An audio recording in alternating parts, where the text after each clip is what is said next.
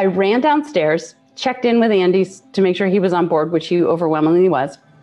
Boys, boys, boys, call him over. My three eight year old sons come trotting over to the fridge, and I throw open the doors with great panache and I declare, Boys, we're going vegan.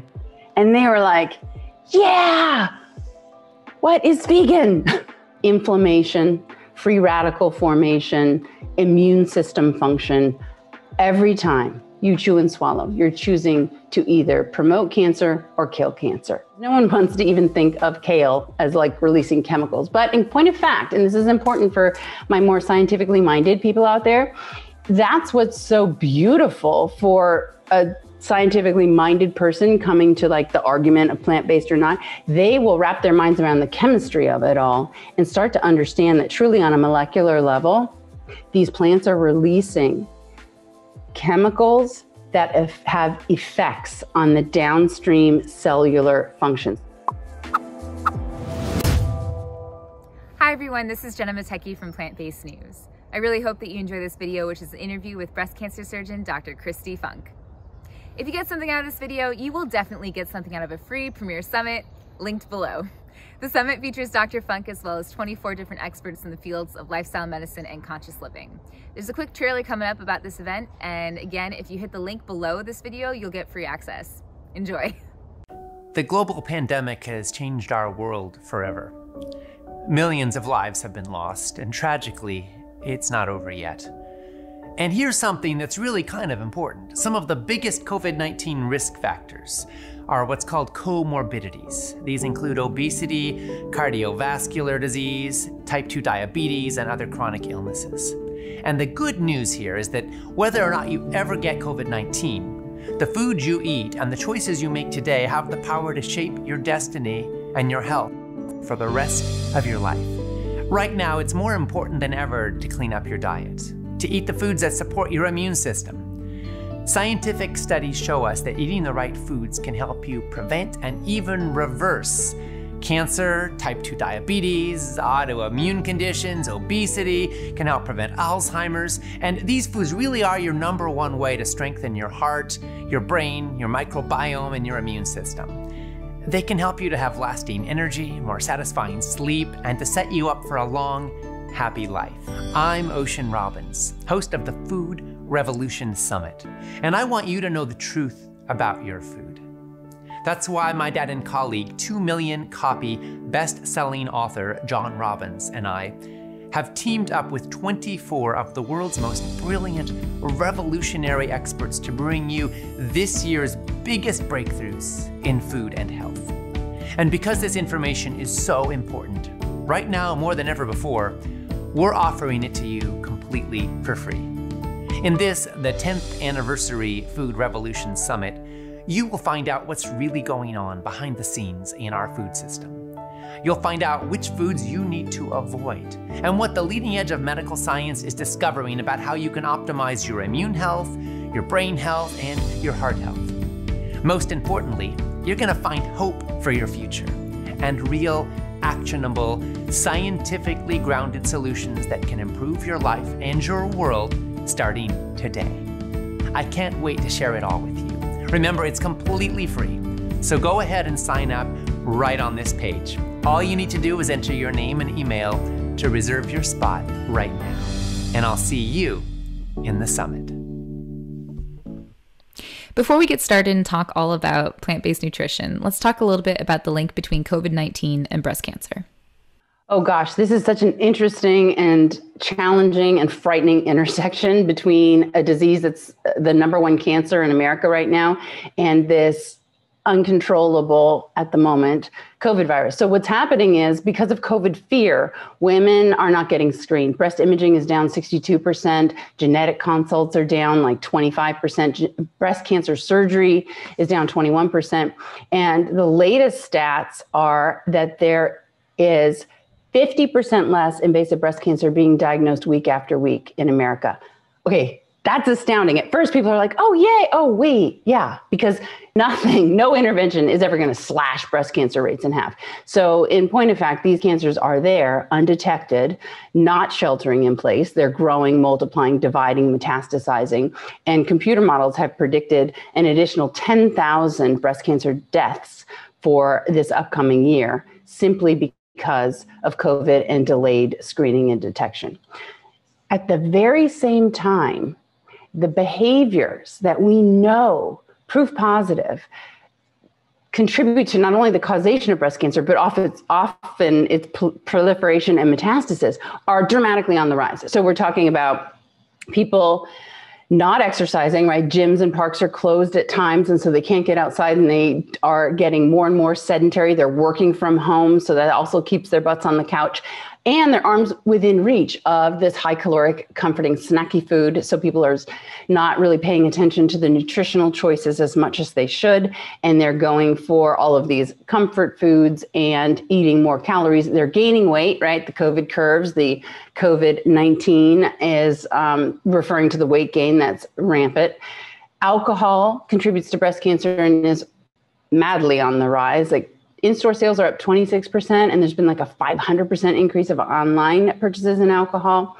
Um, and people are just stressed out. And this to me is one of the silent killers when it comes to all cancers. And that is manifested by this one study, LACE, Life After Cancer Epidemiology Study. It followed 2,200 early stage breast cancer patients for 9.4 years.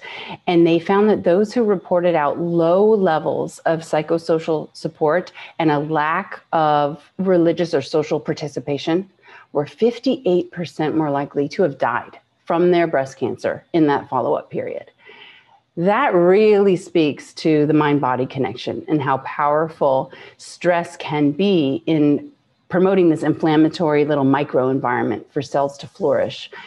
So, COVID is packing a double whammy. Detection is down, and all the behaviors that increase cancer's proliferation and metastasis are on the rise. I'd love your thoughts on our general state of health in the United States and specifically our standard American diet of choice?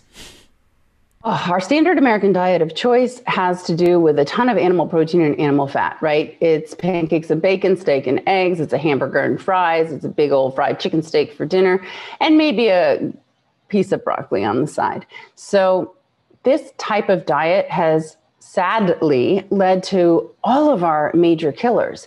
But on the happy side, wait a minute, if it's such a major contributor, then we have so much control over our own health, way more than we've ever been led to believe. If dad died of a heart attack and his dad died of a heart attack, you're like, heart attacks run in my family. You know, maybe, or maybe it's all the butter and bacon that runs in your family's habits of eating. So the state of health in America is tragic, but excitingly, it's reversible in the vast majority of disease states we're talking about.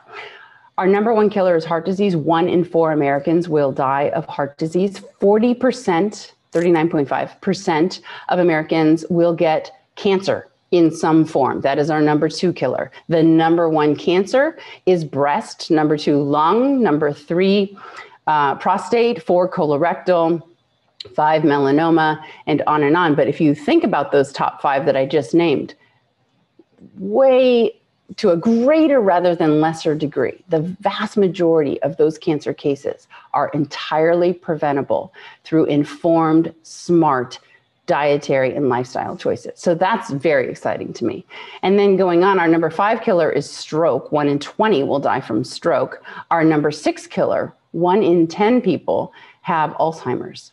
And that to me is one of, uh, they're all tragic, but Alzheimer's, when you have this strong body, but the mind is gone, is such a devastating and sad disease. Uh, most notably for all of the loved ones that surround that particular person. So I, I think, oh, and then I, I'd be remiss not to mention oh, 70% of all Americans are overweight or obese. And obesity is a main contributor to a number of killers. heart disease and colorectal disease and diabetes. So 10% of Americans are diabetic, which is our number seven killer. 90 to 95% of those people are type 2 diabetics, largely diet and lifestyle, if not entirely.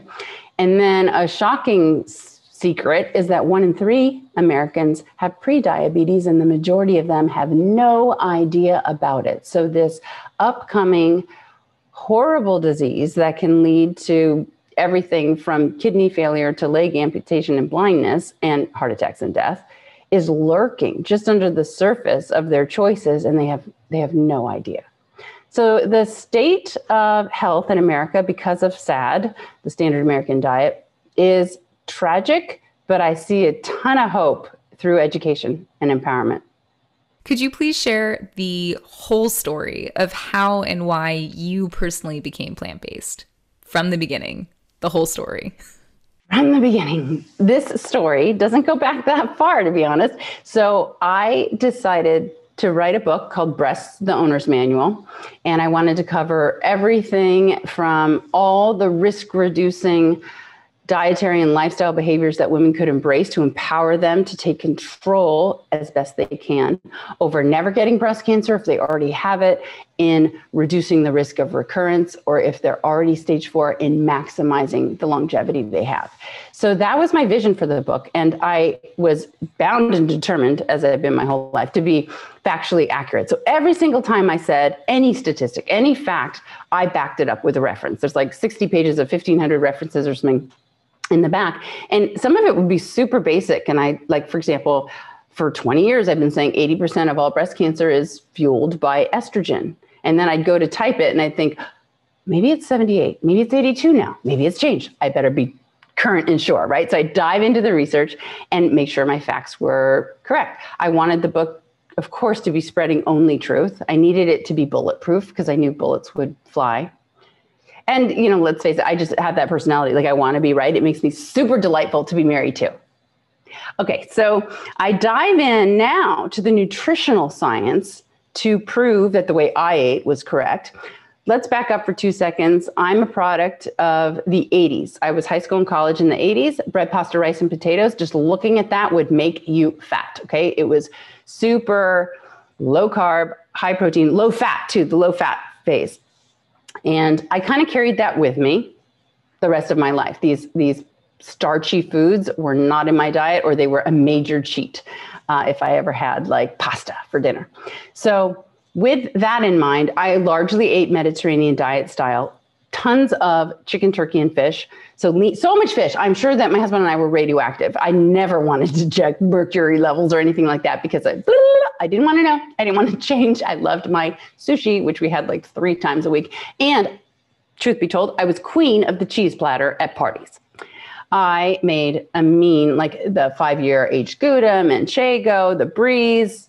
I had my cheese platter like sine qua non. Okay, so the dive into the nutritional science, it didn't take long before I was utterly blown away by the depth of research that existed in these journals that I had never cracked open in my life. Because if you don't know, MDs don't get one second of nutrition. I mean, they might get, I think, an hour now in medical school, but I went to med school in 92. There wasn't a peep of nutrition. So then you go through your residency, my surgical residency, five years there, my fellowship in breast surgical oncology, one year there, never a peep about nutrition. So then you grow up and you're like busy churning away in your day, doing all the things that you've been so excited to train for. And now it's really yours, your practice, and your working day all day. Um, and then you go home. You go home to maybe, you know, children or you want to work out or you're going to eat. Like you're really not going to crack open a journal that you've never heard of to see if there are any pearls of wisdom in nutritional science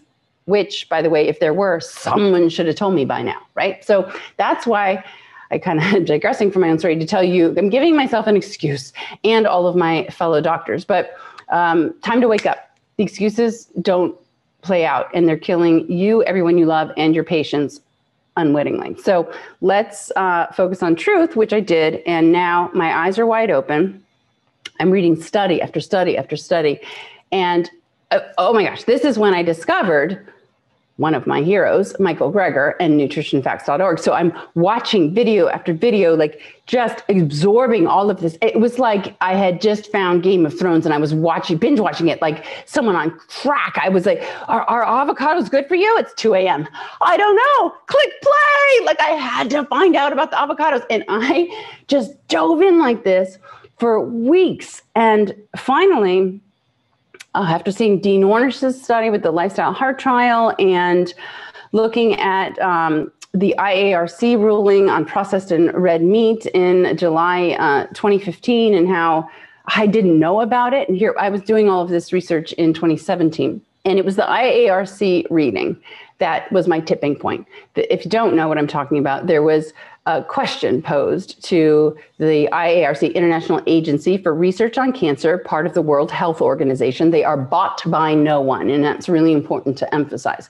So here they are meeting in Lyon, France. They're um, about 22 researchers from 10 different countries, pouring over 800 epidemiologic studies simply to answer the questions does red meat cause cancer? Does processed meat cause cancer? And they concluded that all processed meat so you might call them friendly words like sausage and bacon and hot dogs and all deli meat, right? So all the sliced little organic chicken and turkey breasts in your deli section are absolutely carcinogenic to humans on the same list as asbestos and tobacco and plutonium. And red meat is probably carcinogenic to humans. We know it causes colorectal cancer. But here I was thinking, really?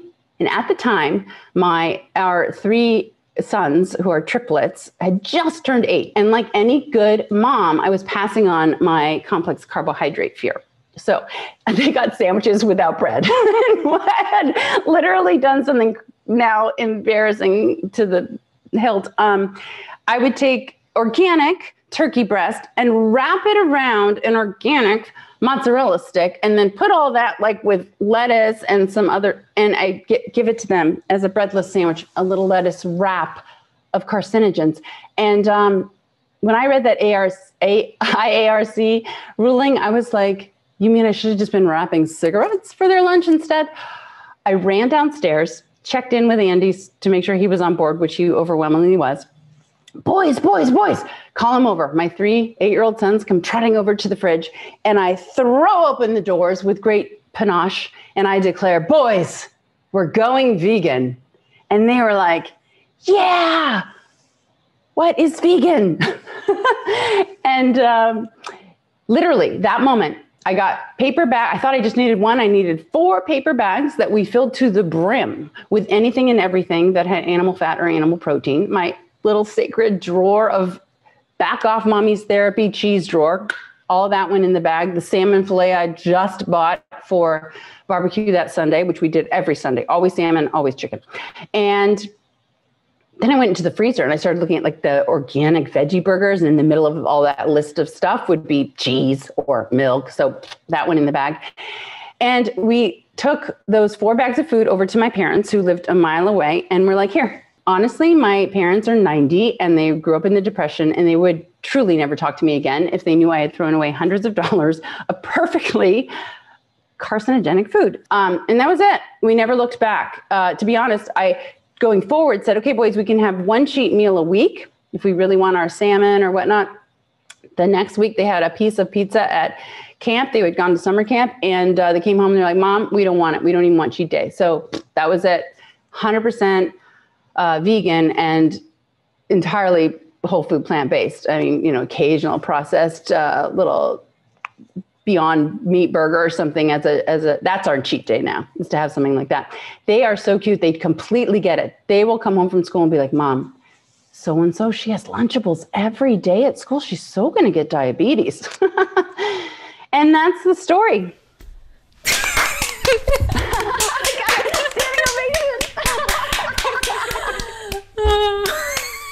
okay. okay. So we've established that you're a plant based breast cancer surgeon. Great. now, to ask this very clearly, why do our boobs like plants? Oh, okay. Our breasts, I have to be official when I say that word, love plants because of the nutrients that plants give every single breast cell. So you have to realize this first. Every single time you lift fork to mouth and you chew and swallow, whatever you are chewing and swallowing gets absorbed through your intestinal tract into your bloodstream. And whatever chemicals are in that bloodstream flowing around end up saturating and bathing your cells. This is called a cellular microenvironment. So, what is in that bathtub is always either screaming out pro cancer or anti cancer. And it's doing it specifically as it relates to breast cancer, but really all cancers, is by changing estrogen levels growth hormones, particularly IGF 1, insulin like growth factor, the big daddy growth promoter of all the hormones that can be inside your body. It can increase or decrease angiogenesis, angio, blood vessel, genesis, birth, the birth of blood flow. So every single cancer cell, breast and other, needs to create its own blood supply to itself if it wants to grow beyond the size of a tip of a ballpoint pen. And believe me, it wants to grow. So angiogenesis brings that cell the nutrients it needs to grow. And then uh, imagine this when it gets to an, its little adult size, exit strategy, straight out those same blood vessels, straight into your liver or lung or bone. Inflammation, free radical formation, immune system function. Every time you chew and swallow, you're choosing to either promote cancer or kill cancer. And that's why food affects breasts. When you ask specifically about plants, so there are phytochemicals, plant based chemicals that we generally call phytonutrients or just nutrients because no one wants to even think of kale as like releasing chemicals. But in point of fact, and this is important for my more scientifically minded people out there, that's what's so beautiful for a scientifically minded person coming to like the argument of plant based or not, they will wrap their minds around the chemistry of it all and start to understand that truly on a molecular level, these plants are releasing chemicals that have effects on the downstream cellular function. So, in less kind of fancy terms, you take turmeric, you've got curcumin, green tea, epigallocatechin gallate, EGCG. You take red grapes, the skin, resveratrol. You take um, soy, genistein. So these molecular components become nutrients, which are literally bathing those cells, decreasing the estrogen that remember fuels 80% of all breast cancers, decreasing IGF 1, the big growth promoter, uh, which, by the way, if you can't process IGF 1, you'll never get cancer. It's already been proven. There are people in Ecuador, they have something called Laron syndrome. They can't process IGF 1. They are all um, medical, they all have medical dwarfism because they can't grow. And no one in the history of the world with Laron syndrome has ever had breast cancer or type 2 diabetes. Just sidebar. These same chemicals will decrease angiogenesis, stop that blood flow influx to the cancer cell, decrease inflammation, boost the effects of your immune system to be able to target out, seek, and destroy cancer cells. Probably the most powerful of all phytochemicals or nutrients that has yet to be studied. I would have to award it to sulforaphane, which you're getting from your cruciferous vegetables. Of all the breast, the healthiest breast superfoods, I mean, I have a about 14 of them, and most of them are in my antioxidant smoothie, which if you don't know about it, Google it and drink it. Like most days of the week because it is so packed with antioxidant powers and it tastes delicious. People love it because the base is uh, a cup and a half of soy milk and then two fistfuls of greens and like two cups of berries, which are so powerful with their procyanidins. And um, then everything else you put in there, you can't really taste. So it's just deliciousness. And then you throw in the, the turmeric and the amla and the green tea and you get it all in one drink, like you're superhuman for the day. Not literally. So, sulforaphane um, is a big one, and soy is a huge one. We can bust that myth if you want to. And flax seeds. Those are my top three. Get them in you some way, somehow, every single day. Two tablespoons of ground flax seeds. Highest content of lignans of almost any plant food on the planet. Lignans are powerful anti-estrogens and anti. They have other anti-cancer properties. So so much so that there are some great studies that we could go through, but they like, okay, so one of my favorites, because it's so simple to like wrap your mind around. A bunch of women had a biopsy of breast cancer and half of them are given a placebo muffin and half are given a flaxseed muffin. Okay, a muffin. We're talking vegan junk food. The flaxseed muffin had two tablespoons of ground flax seeds in it, that amount. They ate it every single day. And then five weeks later, they had their definitive breast cancer surgery. And so now we have two specimens before and after the muffin, their cancer biopsy, and then their cancer excised. Three main things were looked at under the microscope on these cancers before and after the flaxseed.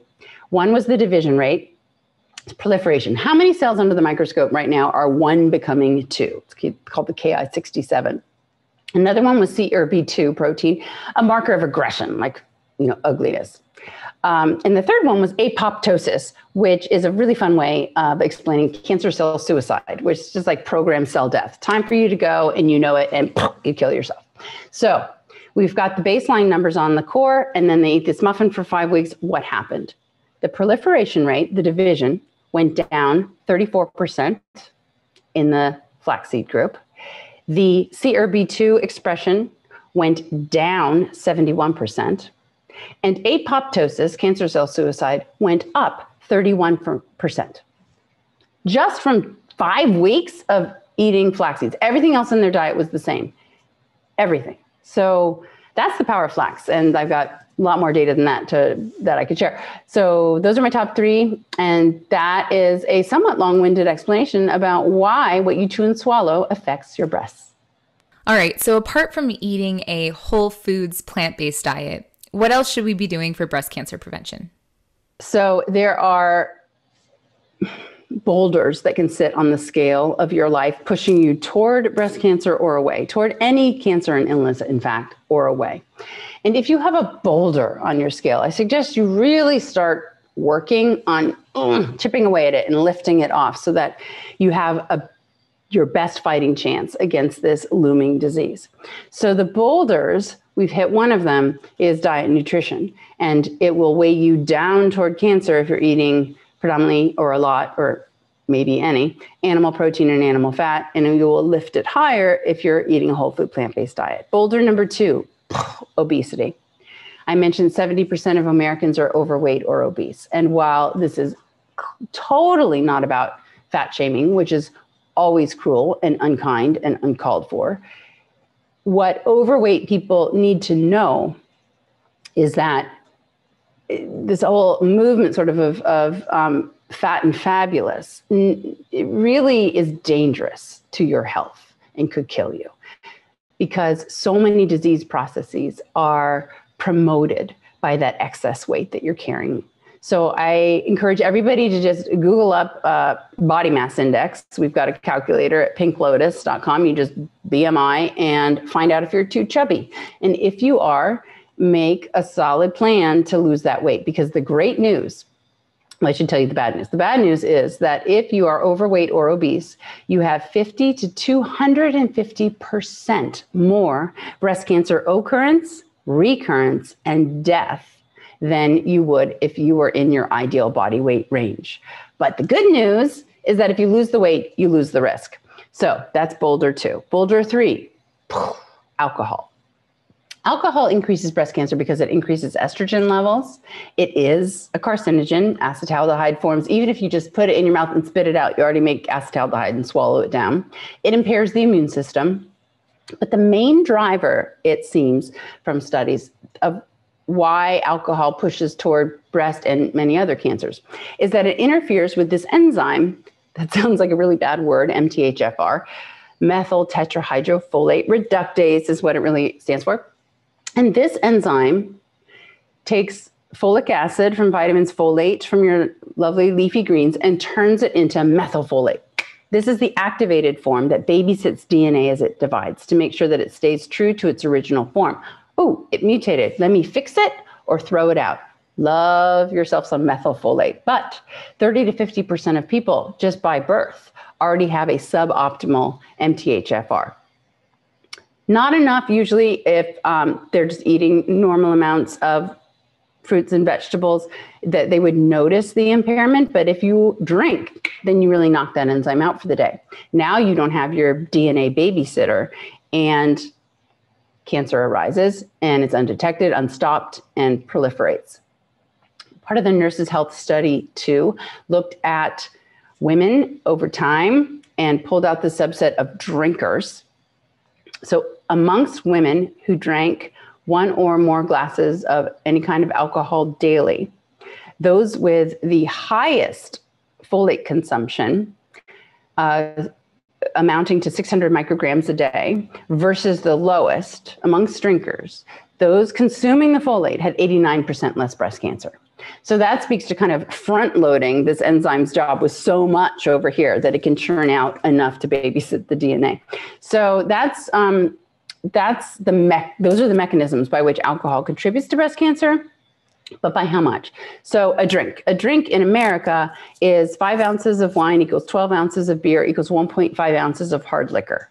So get whichever poison in your mind that you want to. And here are the stats.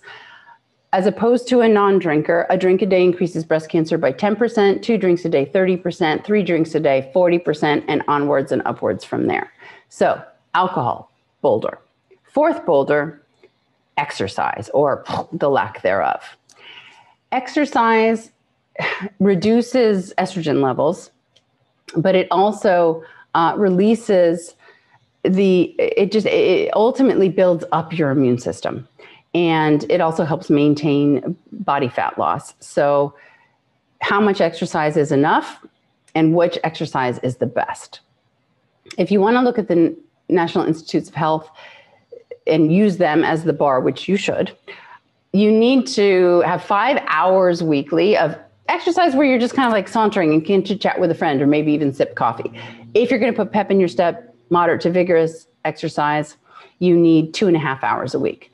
But if those numbers sound astoundingly high to you because you just think you're so super busy or you haven't exercised in if you might be honest a decade or more and that sounds impossible i'm going to share a study this will encourage you 17000 postmenopausal women were um, followed for 7.9 years and those who simply just walked briskly for 11 minutes a day had 18% less breast cancer Okay, you can walk briskly for 11 minutes a day. And if you can't, walk for however many you can and try to do more tomorrow. If you put some pep in your step and some time into the week, three to four hours a week of vigorous exercise drops breast cancer rates by 30 to 40%. Five plus hours, 57% drop. So the more, the better, but I'll take what you'll give me. Now, which exercise is best? Whichever one you'll do. I'll take anything. So those are our boulders. We've got diet and nutrition, alcohol, exercise, obesity. Next, we have pebbles. These are things that, yeah, they can tip a scale for sure. I'm not denying that. But if you've got a boulder on there, the pebble's not going to make low any lower. So these are hormone replacement therapy, environmental toxicities, and emotional stress. So there's a lot you can control beyond diet and nutrition. And I really love helping women navigate how to incorporate more lifestyle changes into their armamentarium to fight against an existing breast cancer, or maybe they're at elevated risk and already in tune to the disease and want to maximally reduce their risk. So, in addition to diet, we talk about exercise, we talk about their weight and what to do if they're overweight and need to drop a few. We talk about alcohol, which, by the way, is an aside. If you choose to drink, the American Cancer Society doesn't advocate that you start drinking, but it says keep it to no more than one drink a day for women, two drinks a day for men. And I will tell you um, that if you choose to drink, you might want to favor red wine because it has a couple of redemptive qualities, specifically resveratrol, which is an anti-proliferative, anti-neoplastic um, agent even looked at in trials right now to treat cancers. And it's an aromatase inhibitor. Fancy words again. Um, aromatase, an enzyme. Everywhere you have a fat cell, you have aromatase. Aromatase takes precursor steroids from your adrenal gland, like testosterone and androstenedione, and churns it into estrogen. So that's an estrogen fuel source that red wine cuts out for the day, the aromatase inhibitor. Um, so we talk about drinking and we then move on to some of the pebbles. And sleep is really important. Melatonin and its secretion gives your body that time to do cell rejuvenation and repair, it gives your immune system the breath of fresh air from digesting the meals that people eat like three to six times a day. It keeps your immune system a little diverted. But then now at night, you can really seek out and destroy and target some some cancer cells because nothing else is uh, taking up its attention and time.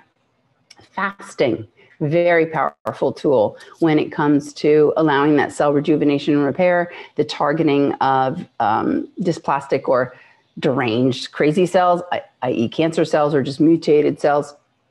Fasting um, in one study in 2015 showed a 36% drop in breast cancer recurrence for those who simply didn't eat for 13 consecutive hours daily. And the more, the better. So, trying to fast 13 to 16 on a nightly basis is cancer protective, as is doing a more prolonged fast, like a five day fast, like a fasting mimicking diet if you can't go water only. There's a lot of data behind that and daily prayer and meditation using an app if you need to meditation which to a lot of people just sounds too like um, you know 60s and uh, out there for them i encourage them just to deep breathe take one big deep inhale in for three seconds and exhale for six seconds and do that a few times and see if you don't already notice you will stimulate your parasympathetic nervous system just by doing that calming you down, releasing the antithesis to those stress inducing catecholamines like epinephrine. There's a lot of power behind meditation on a cellular level. It can decrease blood pressure and increase focus and attention. And it also gives your immune system that boost that it needs. So, those are just a few ideas behind what you can do beyond nutrition to dramatically affect your breast cancer risks and outcomes. okay. So, Did you just deep breathe? absolutely. Okay. Okay. So diet and nutrition. Is diet and nutrition number one? You mentioned it first, and no doubt at Plant Based News, we love talking about plant based nutrition. Is it safe to say that diet and nutrition are number one on your list?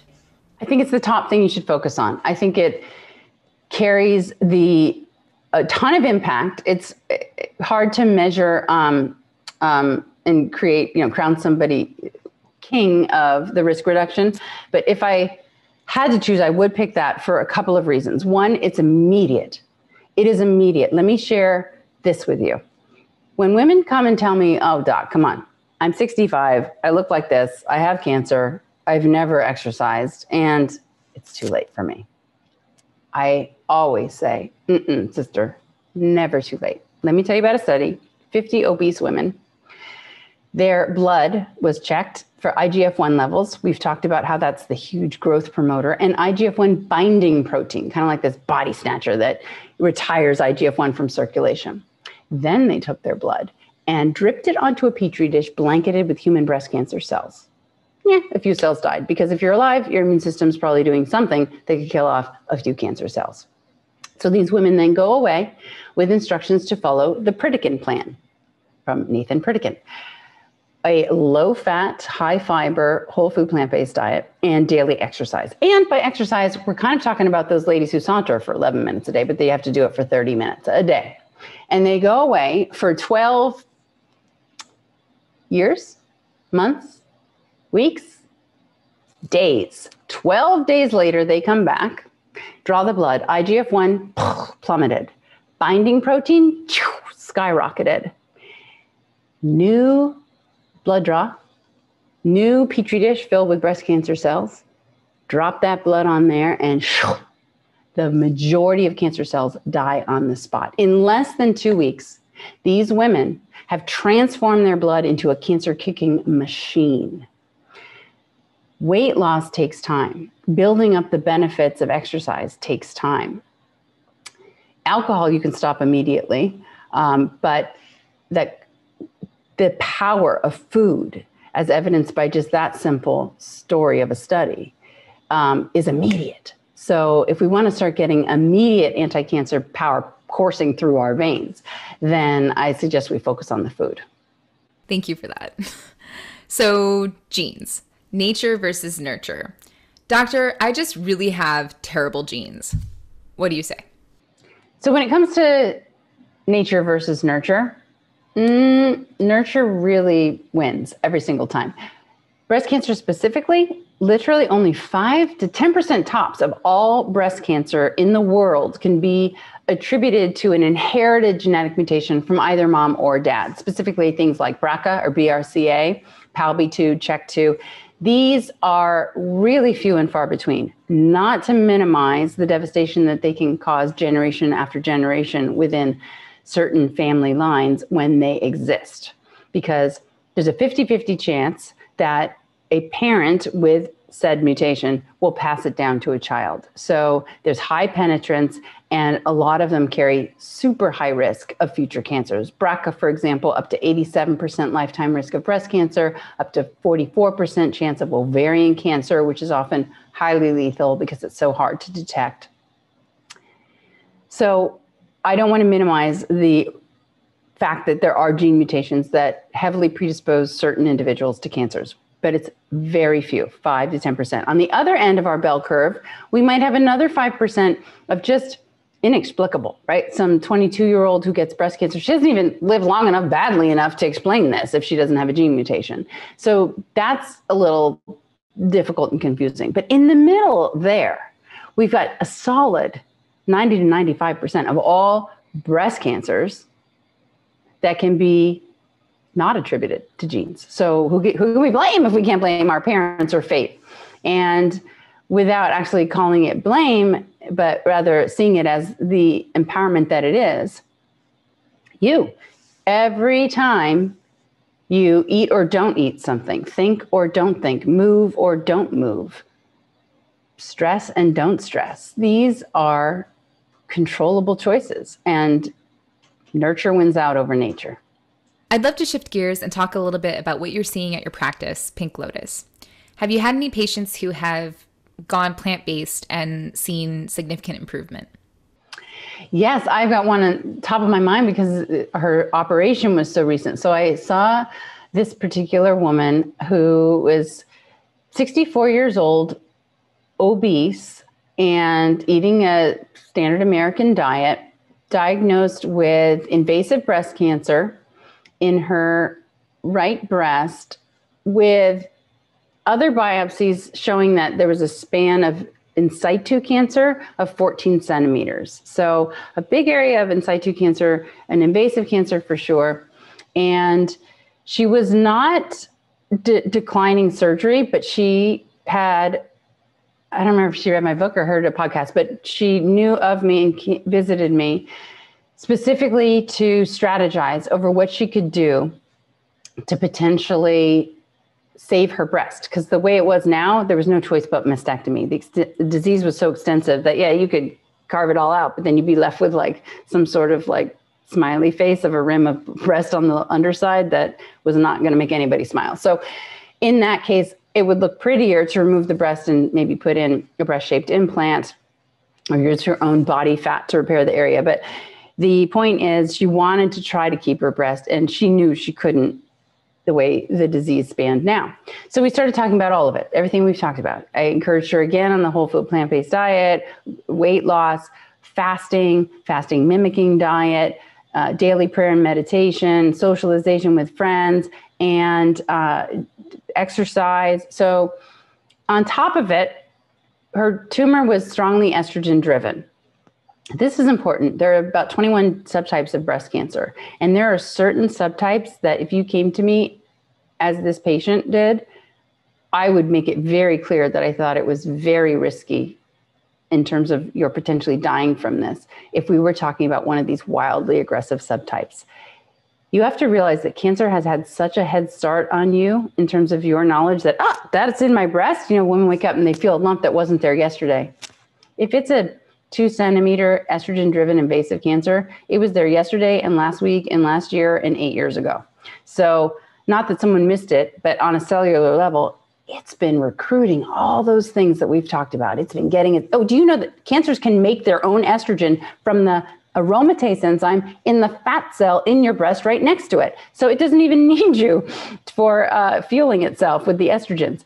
So, in other words, when you get a particularly aggressive subtype, it has such a head start that really at that point, lentils and kale are fairly helpless against something that's already so well established. Now, if we just ch- chunk that out of you, now all of your interventions with diet and lifestyle are going to be wildly effective at seeking out and destroying rogue cells that are trying to just start their little life out there in the lung or the liver or recurring in the breast. But these sizable cancers are often so advanced and so aggressive that they're just outcompeting you. Okay, so I want to make that clear. This woman had this plotting, low division rate, super estrogen driven cancer. So we go through all the anti estrogen foods. We talked about my smoothie. We added in amla and the green tea and the turmeric and the pepper and all the ingredients in the smoothie. We made sure she was eating anti estrogenic foods, which the main ones are going to be your cruciferous vegetables, your flax seeds, soy. Mushrooms are aromatase inhibitors, particularly get this the cheapo white button beats them all out portobello crimini whatever white button. Um, so we do mushrooms citrus fruits and fiber. And she actually also took an anti-estrogen pill. So you know maybe tamoxifen as the name. She took an aromatase inhibitor which makes sense. Here we've got this overweight postmenopausal woman with an estrogen driven cancer. Her ovaries have kicked out years ago. Where's she getting her estrogen? Well she's going to stop eating animal estrogen right? Animals are animals, so they have estrogen too. And a lot of them are pumped with extra estrogen or Zeranol in beef. I digress. And so her only source of estrogen are these fat cells, of which she has many, many and extra. So we give her a pill that's an aromatase inhibitor to effectively and completely knock out that estrogen fueling enzyme. She goes away for three months and then we repeat mammography to make sure that the span of calcium that represents her in situ cancer isn't expanding. And in fact, it's shrinking. So she's motivated to make it through the holidays at this point, um, which would put us another three months away. And everything's going in the right direction, so that's fine. So six months later, she comes back. We get a mammogram and an MRI. MRI had shown what invasive cancer? Her, it was two point six centimeters, I want to remember. It was definitely largish and it was gone on the MRI, on the MRI. And then DCIS, the in situ 14 centimeters, looked like it had come down to about four centimeters. So off we go to the operating room and I removed the, the areas of concern and the final pathology showed that where she had had a rock solid 2.6 centimeter invasive cancer, she did still have some invasive cancer, but it was scattered little foci of cells, and there was no DCIS. So that was powerful because now this woman who's able to preserve her breast, I had to take out that area, but then it was remodeled with like a lift reduction in the other side to match. She looks like she just simply had a breast reduction for cosmetic reasons. Her breast looked great. She does need radiation on that side um, because recurrence rates are notoriously high, around 40% without the radiation. And most important of all, she realized the power of her own actions and choices on cellular dysfunction. Like, how crazy is that to, to really see inside your own body that eating this and doing that and thinking that? And by the way, she'd lost like 70 pounds in that time. It was amazing. Um, and she's still overweight, so she has a ways to go, but she's so incentivized by seeing what those choices did to an existing cancer. She's transformed forever. She's completely sold. And you know what? So am I on something I wasn't entirely sure about um, before, and that is the ability to reverse DCIS. I'd seen this in studies when I was writing my book. Um, in there's a cadaver study with I believe 854 breasts were examined in women who had died from like a car accident. They'd never been diagnosed with breast cancer in their known lifetimes. And this remarkable study showed that in women 40 to 50 years old, 39% of the breasts had DCIS, ductal carcinoma in situ. But between 50 and 70 year olds, 10% DCIS. Where did all the DCIS go? 75% of DCIS, it seems, regresses spontaneously after you pass that magical, really, menopause time. So I knew that DCIS can spontaneously regress when your ovaries kick out. Theoretically, that's why that disparity was there.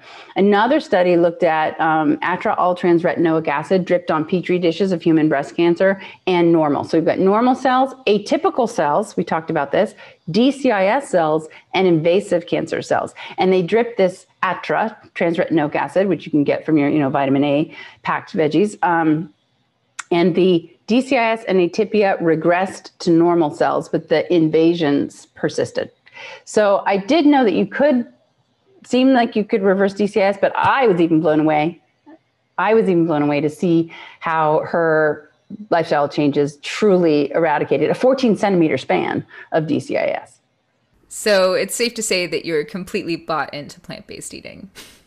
I'm a lifer. Yeah. Great. We are too. In your opinion, how do we make plant based eating more accessible? I mean, if it's just so abundantly clear that this is the way that we should all be heading, how do we start breaking down those walls, especially for people that might not necessarily have the same opportunity at the supermarket as others? You simply make it accessible by making it profitable for the same companies that are already profiting handsomely, ridiculously from animal agriculture. So you can't expect them to go go quietly into that good night. they will fight and fight with money and lobbyists and probably win for quite some time. So you we have to transform how this that industry creates its products and let them maintain their profits. For example, instead of being a dairy milk farm, let's take those same machines and equipment and t- turn it into an organic soy milk mill, right? I think that's going to be one key component. The other is education of doctors, especially in these cities where you're mentioning they have poor access to quality foods they often are seen in local clinics by their community doctor. Those doctors need to be reached. The fastest way to affect change will be to affect somebody who has a downstream audience that they're directly connected to emotionally or on a trust basis, such as the community physician.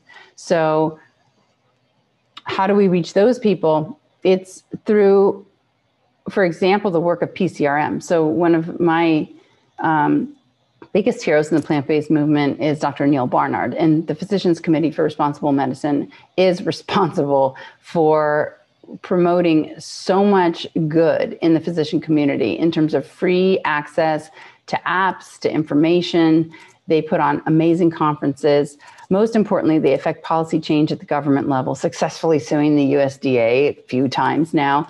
Uh, not to mention that they've eliminated animal testing on cosmetic products in California, which kind of translates to the rest of this country. And now they're doing it effectively in China. They've eliminated all animal testing and dog labs in all the medical schools throughout the country. So they're just so active on a political level and looking at environmental and animal rights, but most actively in human benefit from eating plant food diets. They sponsor a number of studies that show again and again the benefits of plant based diets. They're constantly coming out with publications. And I couldn't be uh, more honored or proud to serve on their president's council, but it's through work Uh, the work of PCRM and organizations like it that we're going to reach these physicians and communities.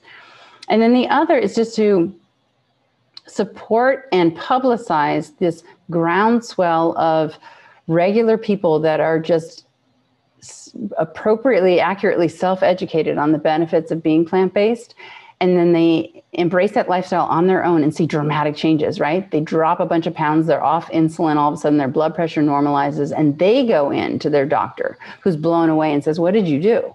And they share the story. And ironically, all of the studies that turned my mind and made me go 180 into a vegan lifestyle um, don't somehow reach those doctors, right? We talked about why the actual studies don't get read by them. But this one person suddenly is an amazing um, N of one in their own world, which opens their eyes to the possibilities. We also need to create government laws that mandate better choices in these supermarkets. Like if it's a law that you have to have fresh fruits and vegetables, if it's a law, which again, PCRM, thank you, uh, that in California, all prisons and hospitals have to offer a vegan entree option.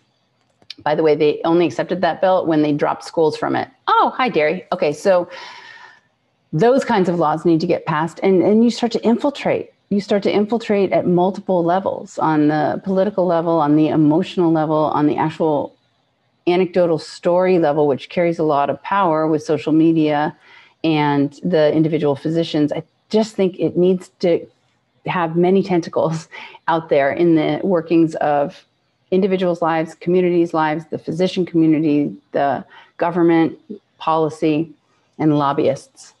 It's complicated, it's multifactorial, but that's the only way to come after it. Spot on. All right. This has been a really fun conversation with you. How can eating plant based be fun? There are a couple great ways to make plant based eating fun right now with your next meal. One is to take your favorite meal and see how you can morph it. We did this in my family with our burrito bar. So, you know, when you've got young kids who are picky eaters, one of the best strategies is to lay out like 10 to 20 items on something. Like I've got a whole salad bar thing I do, and I got a whole burrito bar thing I do. I've got a whole sushi bar, veg, veggie sushi bar now uh, that I do. But even before we were entirely plant based, I had these same meals, right? So they're familiar to the kids and they love them because they pick and choose and they build it themselves. They're bound to eat it. So the, one of the first meals we transformed was the burrito bar, which has whole grain tortillas, right? Some natural, amazingly yummy uh, plant-based foods already in the burrito bar, right? You've got your um, salsa and some guacamole and some shredded lettuce, and um, I put in some sautéed vegetables. But then in days of yore, it was usually like um, t- uh, shredded turkey breast, you know, crumbles. That was uh, like a turkey crumble thing. I forget what to call these foods now. um, and then you had sour cream that was real cream. And then I had shredded cheddar cheese that was real cheddar. So now, how do you sub out those three things? Because those are the bugaboo when you go plant based.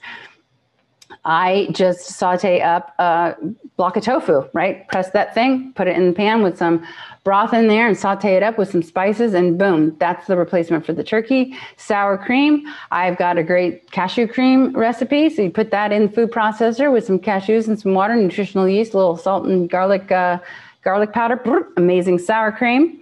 And um, the cheese, I sometimes substitute, sometimes don't. I call these cheat foods so you can go get your like brand name, vegan brand name slices um, or shreds and put those in there too. But when we are addressing the people who are like, I want me some steak and potatoes or a cheeseburger now, then you use these processed vegan foods that are making a killing out there, like Impossible Burgers and Lightlife little meatballs that are plant based, as what we now term transition foods, because they will satisfy your palate because they're chuck full of saturated fat and salt, and they're going to make your palate accept it as an acceptable substitute to that beefy burger that you're wanting to taste. But with time, I would encourage people to, to as their palates change. I love to tell my kids that their taste buds uh, they change every 14 days. So you heard them say to each other when they don't even know I can hear them, like, you know, it's been more than 14 days since you had a mushroom. You really have to try it again. and it's true. Remember, so you turn over 50 billion cells a day. So you have a whole new taste bud cell.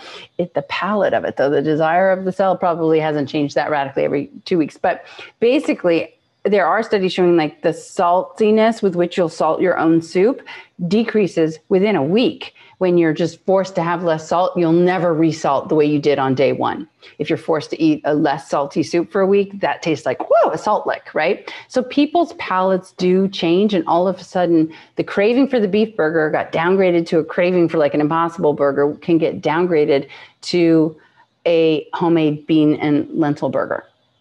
And so those are the two ways to make it fun. It's just not to be rigid about it all and not to have like an end game that is perfection, right? The perfect diet that's all homemade by you and no uh, ingredients that are something like palm oil that you wouldn't have in your house, right? So that's the end game. But to go straight from being a, per, a pepperoni pizza lover to that person is probably not sustainable. And I want you in this for the rest of your life. So if you have to do baby steps to get there, that's the best way to do it. I'm Ocean Robbins, co host of the Food Revolution Summit, and I've got some good news for you about cancer. In fact, I think it's great news. A growing and convincing body of research tells us that many, many cases of cancer can be prevented. So, what's the number one factor you need to focus on if you want to kick cancer to the curb? It's the food on your plate. With the Cancer Fighting Superfoods Guidebook, you'll find out what the studies actually tell us, and you'll get the latest anti cancer breakthroughs so you can take immediate action to protect yourself and the people that you love. When you enter your name and email right on this page, you'll get your free guidebook, and you'll also get free access to the 10th annual 2021 Food Revolution Summit. My dad and colleague, best-selling author John Robbins and I are bringing you this summit because we're on a mission. We want to help as many people as possible stay healthy during the pandemic and beyond. During this free online global event, my dad will personally interview 25 of the most brilliant, revolutionary experts as they share this year's breaking updates about food and health.